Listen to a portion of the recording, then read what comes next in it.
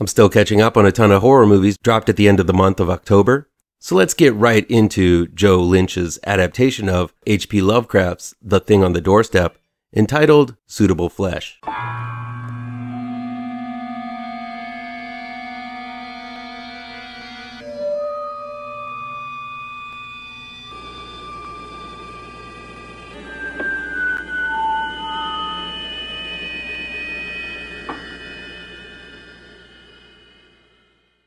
Welcome back to ML Miller Frights. I'm ML Miller. Through our tedious lives, we press many important buttons, but if you could do me a favor and hit that like button down below, share this video with all your social media addicted pals, click subscribe to this channel, and don't forget to ring that bell for notifications. I'd be in your eternal debt. Suitable Flesh is new in select theaters and on demand from RLJE Films.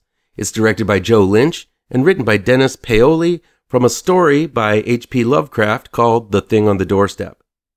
Heather Graham plays Dr. Elizabeth Derby, a psychiatrist visited by a troubled teen named Asa Waite, played by the babysitter's Judah Lewis, who shares a manic tale that his father, Ephraim, played by Bruce Davison, has been switching minds with him. Compelled by Asa's story and witnessing a shift in his personality in her office, Elizabeth visits Ephraim's home and becomes entwined in a plot of body swapping and sexual promiscuity that threatens Elizabeth's livelihood and personal life with her husband, Edward, played by Jonathan Schaech. In the middle of it all is Dr. Daniela Upton, played by Barbara Crampton, who's no stranger to H.P. Lovecraft stories. She plays a confidant of Elizabeth and wants to get to the bottom of this predicament as bodies begin piling up, and Elizabeth's mental state begins to fracture. I really, really, really wanted to like Suitable Flesh. I've been following the career of Joe Lynch and watched him evolve as a filmmaker through his early works, Wrong Turn 2, Chillerama, and Knights of Badassdom, all the way up to the impressive Everly and the truly excellent Mayhem. I've seen the director grow and had high hopes when I heard he was tackling Lovecraft with a pretty top tier cast. Unfortunately, while the film isn't a total wash, there's a large amount that misses its mark. First, the good. The last half hour of Suitable Flesh is gonzo and balls out. There's copious gore, lots of violence, a whole bunch of insanity, and plenty of trippy Lovecraftian weirdness. I think this is where Lynch was in his element, and I wish the rest of the film would have matched that level of intensity. I kind of feel like Lynch had the last half hour in mind from the beginning and didn't know exactly how to get there. It seems to be the best cooked bits of the film, and at the very least, one can say Suitable Flesh ends with a bang.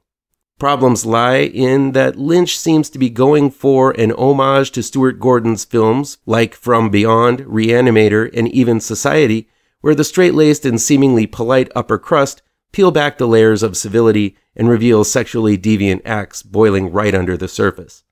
Lynch characterizes Graham's Elizabeth as repressed, unfulfilled sexually, and finding herself attracted to this young boy in trouble in her office. These adult themes are more to the forefront in Suitable Flesh, with multiple scenes of sex and other kinds of eroticism occurring as the main motivation of both protagonist and antagonist. Now, all of those films, specifically Reanimator and From Beyond, had a perverse sexual nature present throughout them, but it wasn't pushed to the forefront until later in the films, and they also had other themes to explore. These were themes buried within the psychosis of the characters, but the movies weren't exactly about these psychoses. Suitable Flesh feels more like a one trick pony making itself all about repressed sexuality, and it just isn't made convincing or compelling enough to sell it. Elizabeth sees Asa, Lewis, and is immediately all over him. Now, right off the bat, this seems off to me.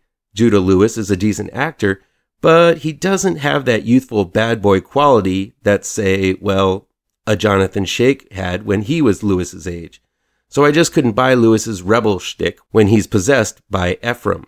Lynch also tries to emulate the steamy Skinamax thrillers of the 90s with expansive sex scenes, porn motivations, and of course a scorching saxophone accompaniment. But while I'm sure he's seen these films, Lynch has trouble recreating these sweltering scenarios effectively. There's something about the way Lynch films these love scenes that just miss their mark. They're passionless, lit too brightly and sharply, and the actors just don't feel like they're into it. I mean, how hard is it to do a sexy scene with Heather freaking Graham? But for some reason, there isn't an ounce of sensuality or passion present. I know that might be subjective, but it just didn't work for me. Right now, I'm going to pause before things get too complicated. Too late.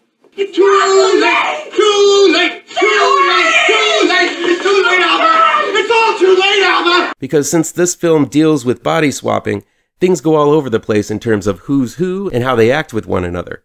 I don't want to get too much into why Elizabeth might be attracted to Asa.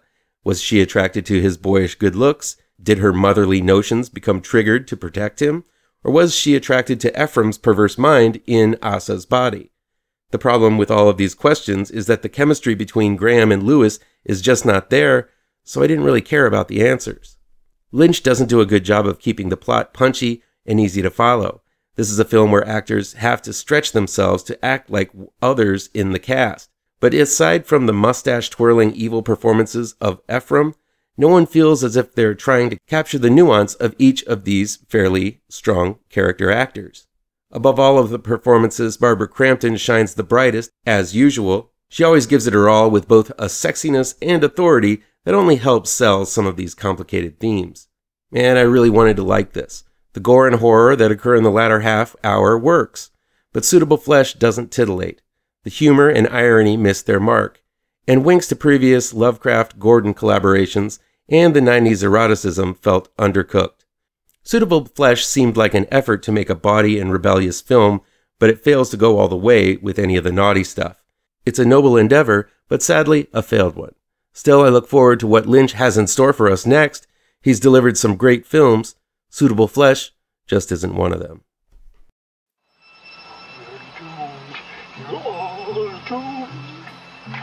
You're doomed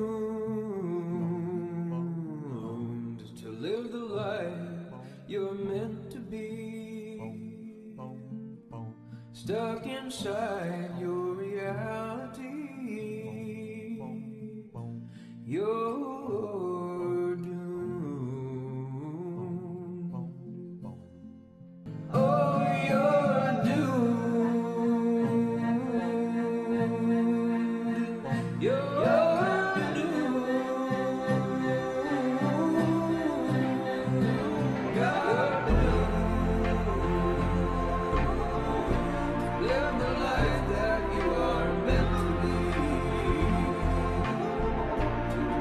shine.